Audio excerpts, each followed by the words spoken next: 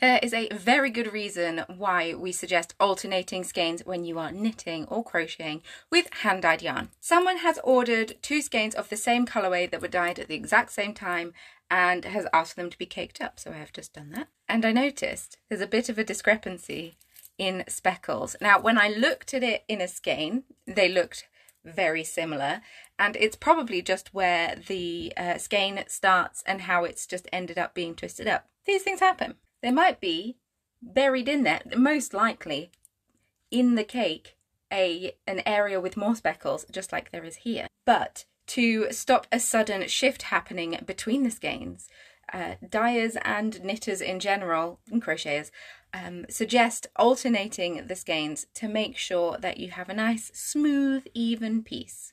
Everyone has their go-to techniques and some dyers are just better at consistency than others. Doesn't make anyone better or worse, it's just the way it is.